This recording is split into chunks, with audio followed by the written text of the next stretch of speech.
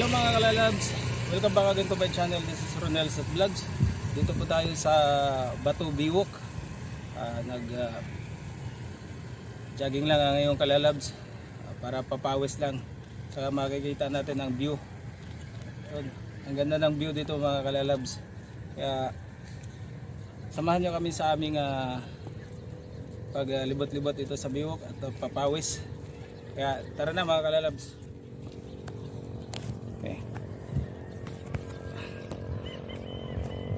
Okay. Yan mga kalalabs ang view natin.